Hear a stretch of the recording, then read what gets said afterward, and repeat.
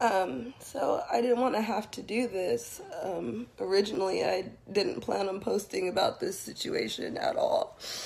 Um, but obviously, the video has gone viral, and I'm getting a lot of messages asking me if I'm okay and like all this stuff. So I decided I'd update everybody and let everyone know what's going on.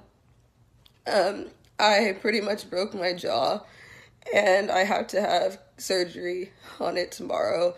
I um, broke some teeth and I got a sprained ankle.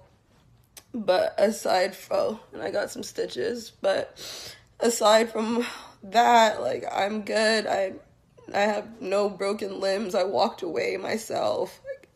I got up right after it happened. Um, and I'm just really overwhelmed by all the messages and everything. And I'm so thankful though for all though for all the positive messages I've been getting and all the love and it really means a lot. So that's why I decided to post this video just to say thank you and just let you guys know that I am having a hard time, but I am okay and I'm gonna be okay.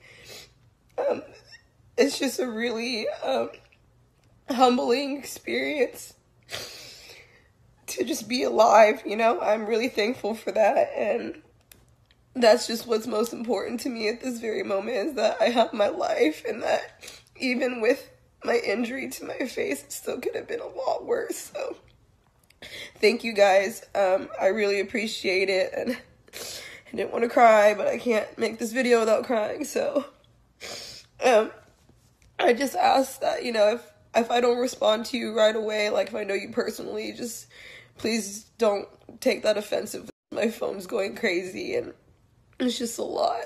But I'm okay and I just wanted to let everybody know that I'm good. So thank you guys and I appreciate it once again. Yeah guys, thank you very much for watching that video. Don't forget to subscribe, like the video and put on your notification bell. So yes, I'll be giving you more updates or current trending news you need to know. Thank you.